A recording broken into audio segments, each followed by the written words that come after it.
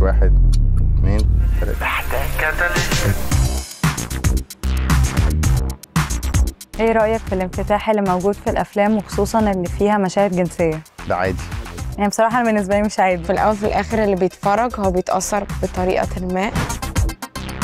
الجنس هو مش بس بتفرج على porn فالموضوع بيتطور بشكل رهيب. ال social media ليها تأثير قوي قوي. كل الحاجات اللي بتدخل دي ما تفتكرش إن هي بتروح وخلاص بتعدي حتى لو أنت مش مركز فيها دلوقتي لكن بتخزن وفي وقتها هتطلع.